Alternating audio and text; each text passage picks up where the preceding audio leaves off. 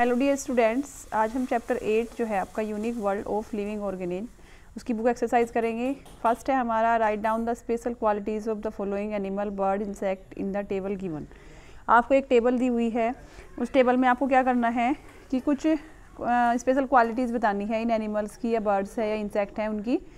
First हम देखते हैं बर्ड चिड़िया जो होती है वे ऑफ़ फीडिंग उनका खाने का जो तरीका होता है वो कैसा होता है? मूव स्विम फ्लाई वो घूमते हैं या उड़ते हैं या फिर तैरते हैं वो आपको बताना है। Okay dear student first bird है डिवोर करती है यानी कि फ्लाई उड़ती है। क्या करती है? अपनी चोंच से किसी भी इंसेक्ट को या फिर अपने भोजन को पकड़ती है। फायर फ्लाई जो होती है वो चूसती है।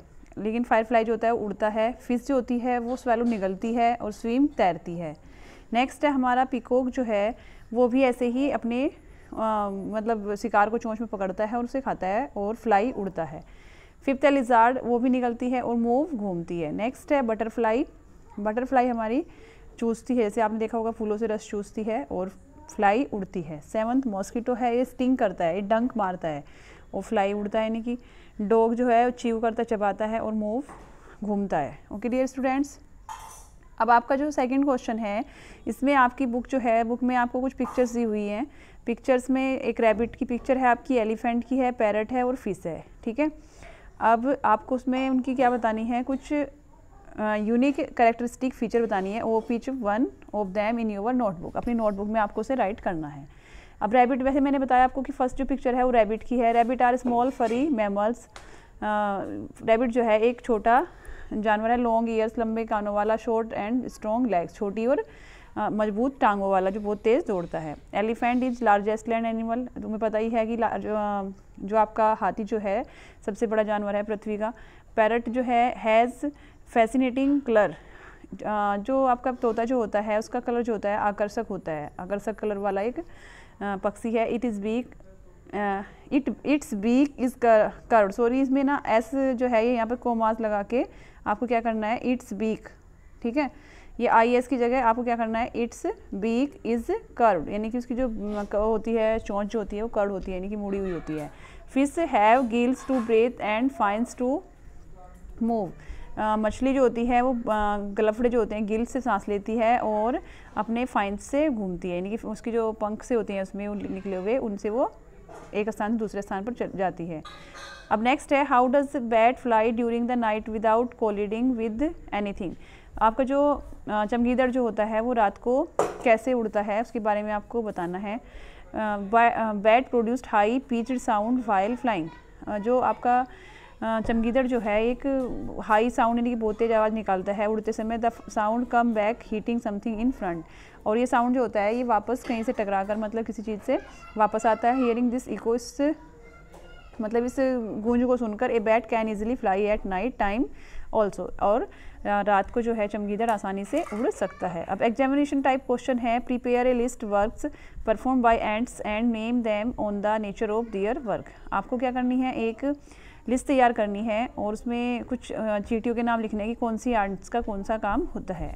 जो आपकी एंड्स होती हैं, जो मतलब कि चीटियाँ जो होती हैं, उसमें तीन प्रकार की एंड्स होती हैं। Work done by ants ants के द्वारा जो वर्क किया जाता है वो और ants name on the basis of work first है टू ले एग्स, अंडे देने का काम कौन करती है? क्यून एंट क्यून एंट जो होती है वो अंडे देने का काम करती है। सेकंड है to take care of the eggs, अंडों की देखभाल करने का कौन काम करता है? वर्कर एंट और टू प्रोटेक्ट एग और हाउस सिक्योरिटी का जो काम करती है वो है सोल्जर एंड यानी कि आपके ये तीन टाइप की मैंने चैप्टर भी पढ़ाई थी आपसे तीन टाइप के जो वर्क होते हैं वो तीन टाइप की शीटों द्वारा किए जाते हैं।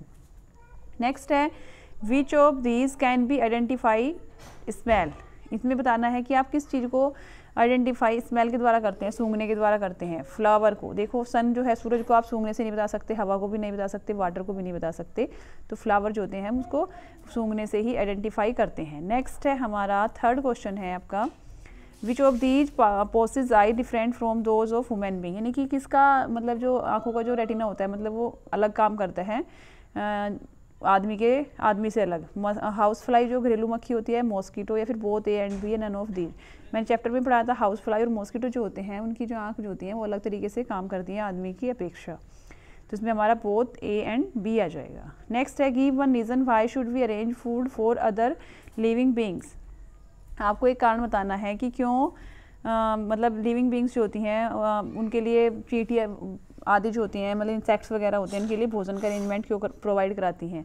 टू मेंटेन इकोलॉजिकल बैलेंस आपकी जो पारिस्थितिक तंत्र को संतुलित बनाए रखने के लिए और we should provide food to other living organism दूसरे जीवित जो पक्षी मतलब सूक्ष्म जीव जो हैं, उनको भोजन प्रोवाइड कराते हैं। हम, आपने देखा भी होगा, चींटियों को आप भोजन देते हैं, कसारी से बोलते हैं। Which animal had a strong sense of smell वो कौन सा जानवर है जिसका सूंघने की जो क्षमता है, वो सबसे अधिक होती है? एंड्स है, क्रो है, एलिफेंट है, डोग है। तो उसमें आपने चैप्टर में पढ़ा भी है कि स्मेल के द्वारा कौन सबसे अधिक आइडेंटिफाई करता है? डोग।